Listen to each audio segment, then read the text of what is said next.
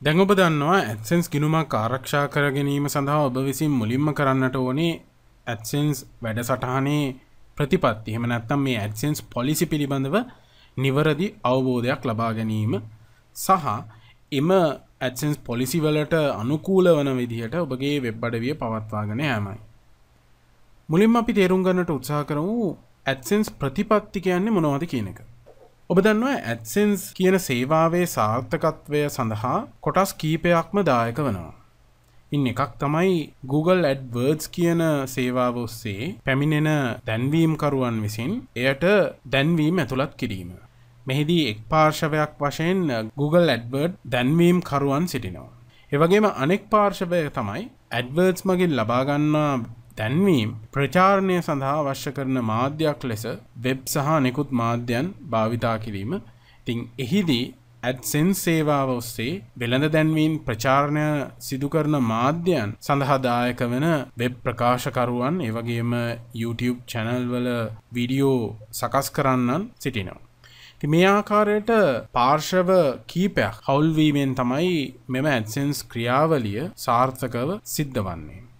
AdSense ප්‍රතිපත්ති එහම නත්තම් මේ ඇඩසන්ස් පොලිසි වශයෙන් අපි හඳුන්වන්නේ Google ඇඩසන් සේවාවේ විශ්වාසය සහ සාර්ථකත්වය තහවුරු කිරීම සඳහා එය තුළින්ම සැකසී ඇති යම් නීතිරීති පද්ධතියක්. මෙහිදි Google සමාගම මගින් ඇත්සෙන් සේවා සඳහා අවශ්‍ය කරන නීතිරීති සම්පාදනය කිරීම සිද්ධ කරනවා. මෙහිදී තවත් වැදගත් දෙයක් තමයි මෙම නීති පද්ධතිය කාලෙන් කාලයට යම් ආකාරයේ වෙනස්වීම් වලටත් භාජනය වෙනවා. ඉතින් එම නිසා ඔබ ඇත්සෙන්ස් ප්‍රතිපත්ති වශයෙන් යම් කාලයකදී හඳුනාගන්නා දේවල් යම් කාලසීමාවකට පසුව සුළු වශයෙන් වෙනස් වන්නට පුළුවන්. ඉතින් එම නිසා මෙම නීතිරීති පද්ධතිය පිළිබඳව ඔබ සෑම විටම යාවත්කාලීන වෙලා සිටින්නට අවශ්‍යයි. මේ සඳහා වඩාත්ම සුදුසු වන්නේ ඇත්සෙන්ස් ප්‍රතිපත්ති පිළිබඳව අන්තර්ජාලය තුළ ඇති එම වෙබ් පිටු නිරීක්ෂණය කිරීමෙන් ඒවා වෙනස් වෙලා තිබෙනවාද කියලා යම් පැහැදිලි අවබෝධයක් ලබා ගැනීම. ඒ වගේම අපි තේරුම් ගන්නට ඕනේ මේ ඇත්සෙන්ස් ප්‍රතිපත්ති යම් හේකින් කඩකිරීමට ලක්වුණොත් අප බොහෝ අවස්ථාවලදී දකින දෙයක් තමයි පෙර දැනුන්දීමක් රහිතවම ඇත්සෙන්ස් ගිනුම් අක්‍රිය කිරීම සිදු කරනවා. මොකද මේකට ප්‍රධාන වශයෙන්ම බලපාන්නේ ඇඩ්සෙන්ස් වැඩසටහනට ඔබ ප්‍රකාශකයකු ලෙස සම්බන්ධනාට පස්සේ එම ගිනුම හිමි ප්‍රකාශකයා වශයෙන් පූර්ණ වශයෙන්ම ඔබට අදාළ ගිනුම තුළ සිදුවන ක්‍රියාකාරකම් පිළිබඳව ඔබ වගකිව යුතුයි. මෙහිදී අපි දකින ඉතාමත්ම සංකීර්ණ කරුණක් තමයි ගිනුමක් තුළ ඇතැම් අවස්ථාවේදී සිදුවන ක්‍රියාවලීන් වලට ඔබගේ රිජු දායකත්වයක් නොතිබෙන්න්නට පුළුවන්.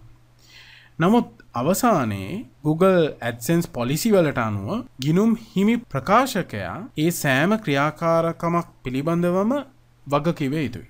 මේ හේතුවෙන් තමයි ඔබ මේ ප්‍රතිපත්ති පිළිබඳව හොඳ අවබෝධයක් ලබා ගැනීම සහ එම ප්‍රතිපත්තීන් කඩ නොවන ආකාරයට එය පවත්වා ගැනීම ඉතාමත්ම වැදගත් කරුණක් වන්නේ. මේ පැහැදිලි කිරීම සඳහා මම සරල උදාහරණයක් භාවිතා කරන්නම්.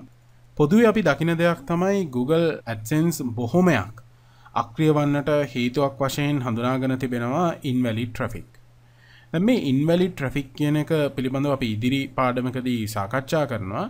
නමුත් මේ ඉන්වැලි ට්‍රෆික් වෙබ් අඩවියක් තුළට ඒම යම් ආකාරයට පාලනය කිරීම ඉතාමත්ම අපහසු දෙයක්. මොකද එය වෙබ් අඩවිය හිමි වෙබ් ප්‍රකාශකයාගේ කිසිදු අනුදැනුමක් නොමැතිව සිදුවන දෙයක් වන්නට පුළුවන්. ඇතැම් අවස්ථාවලදී අපි දකිනවා බොහෝ විට මේ ඉන්වැලි ට්‍රෆික් වෙබ් අඩවියට පිවිසීම සිද්ධ වනම අන්තර්ජාලය තුළ ඇති ඉන්ටනෙට් බොට්ස් හේතුවෙන්. මෙදී ඉන්ටනෙට් බොට් වශයෙන් අපි හඳුන්වන්නේ අන්තර්ජාලය තුළ තොරතුරු සෙවීම සඳහා භාවිතා කරන මෘදුකාංග විශේෂයක්. ඉති මෙවැනි මෘදුකාංගමකින් විශාල වශයෙන් ඉල්වලි ට්‍රෆික් එකක් නිර්මාණය වීම සිදුවන්නට පුළුවන්. ති මෙය එම වෙබ් අඩවිය හිමි වෙබ් ප්‍රකාශකයාගේ කිසිදු දැනූමකින් තොරව තමයි සිද්ධවන්නේ.